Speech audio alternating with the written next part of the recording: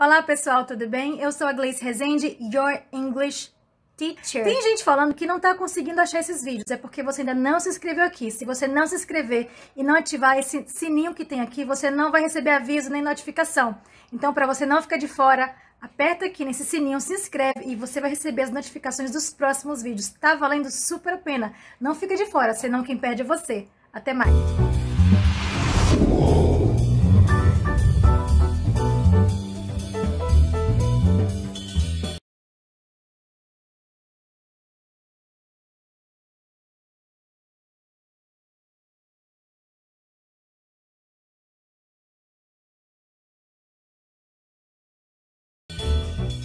Hello everyone, I am Gleice Rezende, your English teacher. Eu sou a Gleice, a sua professora de inglês.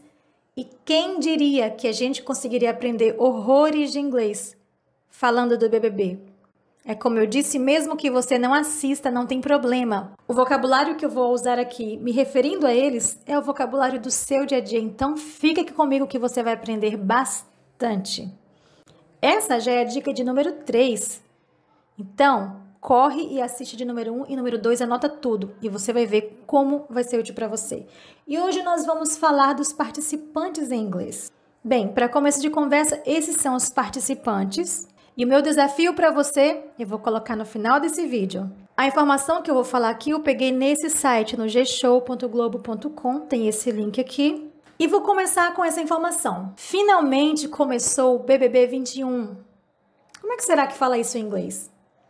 E para começar com o pé direito, vamos conhecer mais sobre cada um dos 20 participantes que entraram na casa nessa tarde. Hmm, how do you say começar com o pé direito in English?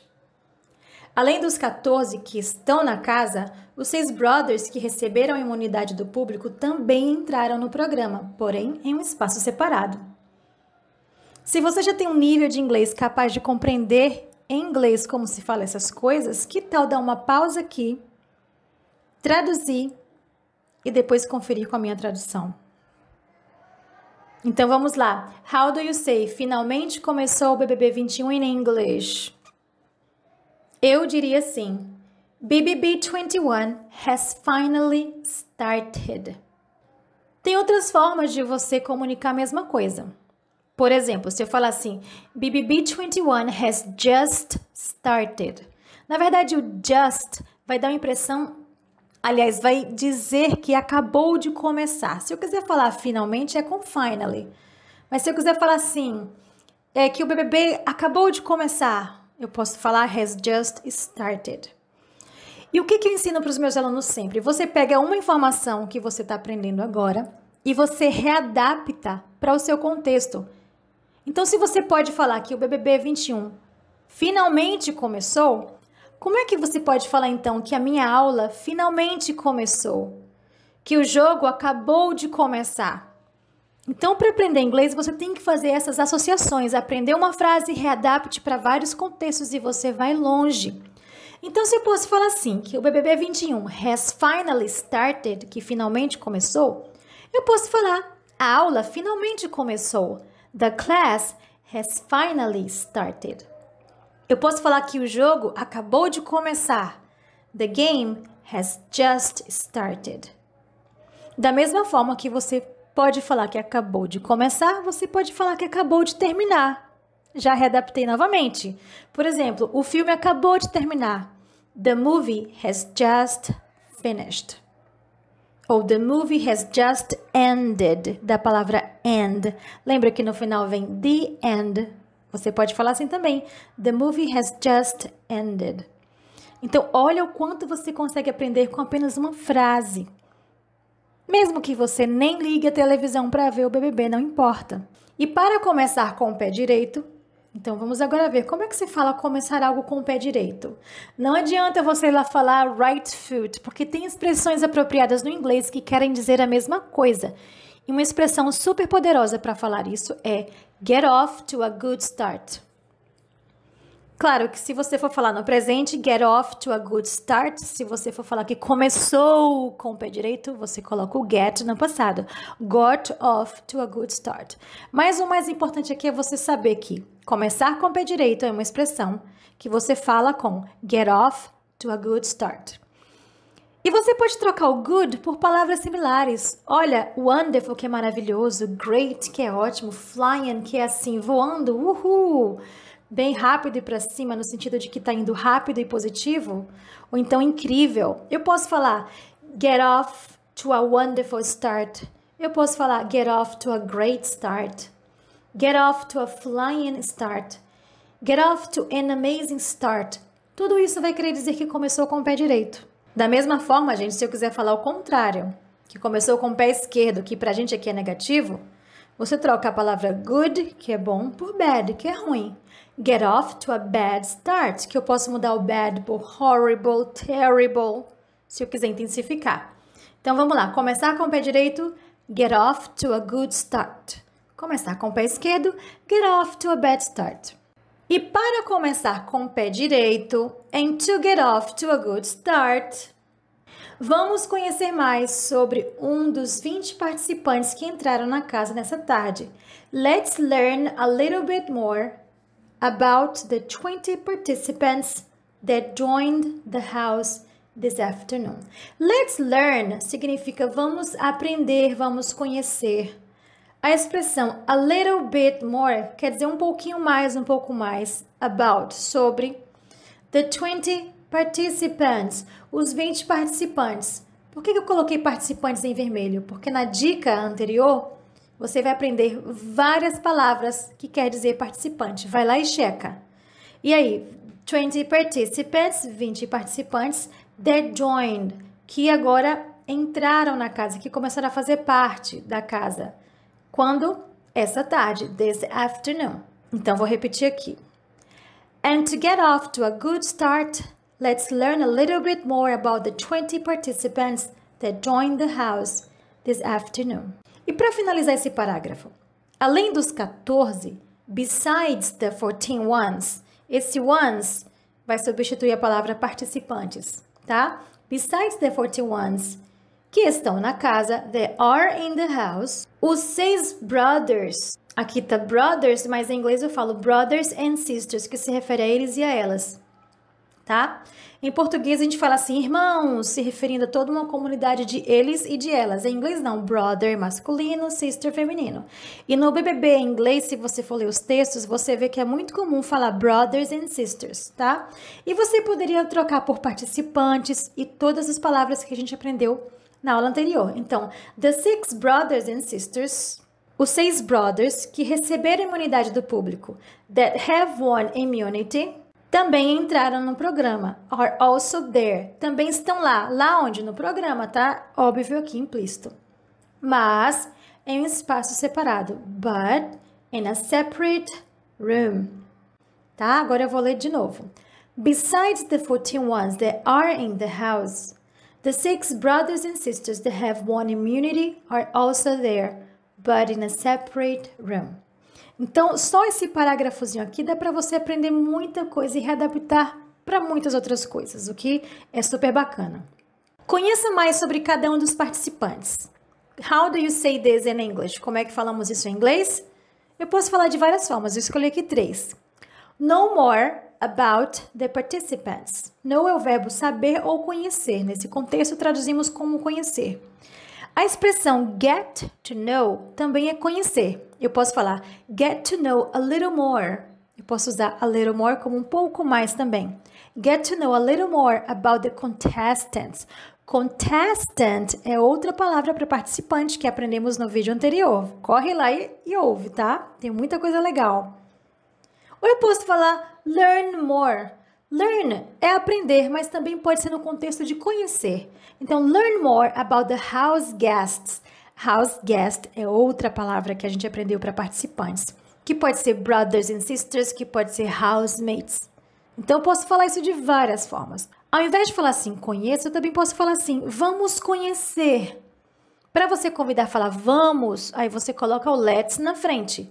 Let's know, let's get to know, let's learn e a mesma mensagem. Let's know more about the participants. Let's get to know a little more about the contestants.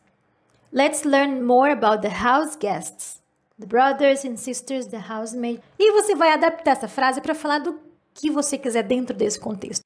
Get to know a little more about my job. E olha que bacana, gente. Se eu posso escrever essas frases, eu posso readaptá-las para falar do que eu quiser ou de mim. Então, se eu posso falar assim: Know more about the participants. Conheça mais sobre os participantes. Eu posso falar: conheça mais sobre mim, aprenda mais sobre mim, saiba mais sobre mim. Know more about me. Conheça mais sobre o meu trabalho, conheça um pouco mais do meu trabalho. Get to know a little more about my job. Conheça sobre a minha vida, saiba um pouco mais da minha vida. Learn more about my life. E por aí vai. E para concluirmos aqui, a gente vai aprender a falar a idade, ocupação, cidade de origem. E eu peguei uma frase que esses participantes falaram que está lá nesse site e traduzi. Gente, olha como é simples, tá? Primeiro vamos ver essas palavras. Se eu quiser falar ele, é he. Se eu quiser falar ela, she. Ok? O nome dela é Her name is. O nome dele é His name is. Ela é she is. Ele é he is. Ela é de, para falar origem, she is from. E ele é de ou do, né? He is from. Ele é do Ceará. He is from Ceará. Ela é da Bahia. She's from Bahia. O nome dele é Pedro. His name is Pedro. O nome dela é Kátia. Her name is Kátia. Ela é Maria. She is Maria. Ele é João. Is João. Simples assim. A partir daqui você constrói suas frases. Agora presta bem atenção. Para falarmos a idade em inglês, a gente fala is ou is. Não adianta ir para o dicionário para procurar o verbo ter. Ah, mas o verbo ter em inglês é have. Então eu tenho 20 anos, I have 20 years. Não funciona assim. Idade em inglês, para falar que ele tem, eu falo he is, ponto final. Traduza como ele tem, mas não é o verbo ter. Em inglês é assim, é como se eu falasse assim: ele está 20 anos. O que faz sentido, porque a idade é transitória. No momento ele está 20 anos, amanhã ele vai estar 21, depois 22 e por aí vai. Faz sentido se você for olhar a ideologia por trás da palavra ou a filosofia. Mas, enfim, para falar a idade está gramaticalmente correta, falando que ele tem uma certa idade, vai ser he is. E para falar a idade dela, she is. Combinado? Você pode tanto parar no número, ela tem 20 anos, por exemplo. She is 20 parei no número. Ou falar 20 anos de idade, que tem a expressão years old, igual daqui. Ela tem 10 anos. She is 10 years old. Tá? Então já deixei a estrutura pronta aqui para você. Eu posso falar her name is Maria ou she is Maria. His name is Carlos, he is Carlos. She is from Brazil, Brazil. He is from Cuiabá ok? Agora falando do nosso querido Projota, presta bem atenção nessa informação. Tem um livro que foi escrito de uma pessoa, a Isa Flor, que ela conta que em outra realidade, em um mundo paralelo, ela conheceu ele e que lá ele se chamava Marcos Toledo. E ela conta isso no livro Serendipity 1111 Portal do Amor, um livro belíssimo. Por isso que está aqui, Tiago Projota Marcos Toledo, só para você saber. Então, se você quiser checar sobre isso, você vai lá ler o livro que está gratuito para download. E eu vou deixar aqui o site no final para você. Mas olha só, Tiago Projota, que seja Marcos Toledo, idade 34 years old, singer, rapper, São Paulo.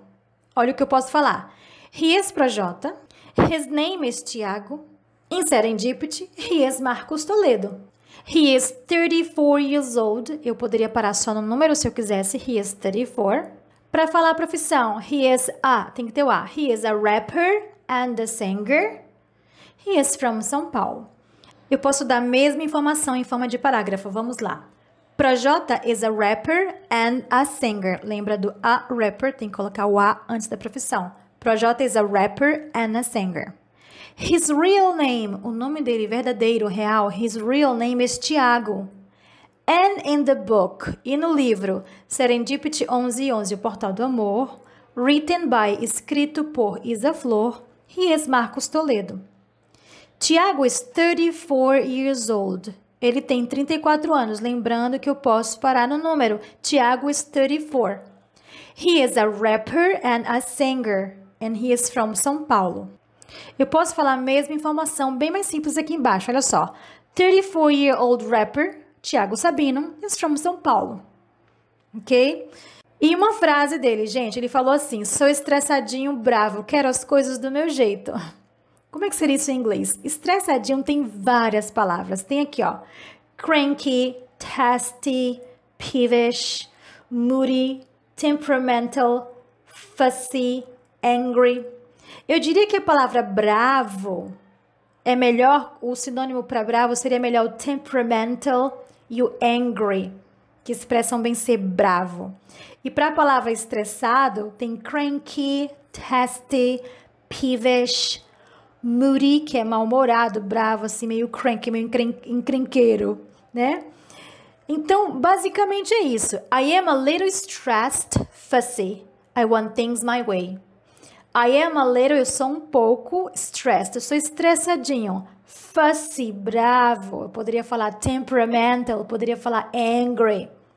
I want, eu quero things, as coisas my way, do meu jeito. Tem até uma expressão idiomática que fala assim, my way or the highway. É até uma música do grupo YNT, Y-I-T. É um grupo que tem uma música com esse nome mesmo que quer dizer do meu jeito ou rua. tipo, se não for do meu jeito, fora. Tipo assim, my way or the highway. Se você vê essa expressão por aí, quer dizer isso. Então vamos lá. I am a little stressed, fussy. I want things my way. Cranky, testy, peevish, moody, temperamental, fussy, Angry. E por falar do livro Serendipity 1111, aqui está o portaldoamor.com. O livro é gratuito. Tem aqui na torcida no BBB, a autora torce por Marquinhos, é assim que ela chama ele. Mas você pode checar o trabalho dela no BBB21 vai Marquinhos, meu mundo paralelo.oficial ou portal do amor.oficial no Instagram. E isso aqui é o que ela fala: Tiago por registro, Projota por missão, Marcos Toledo por essência.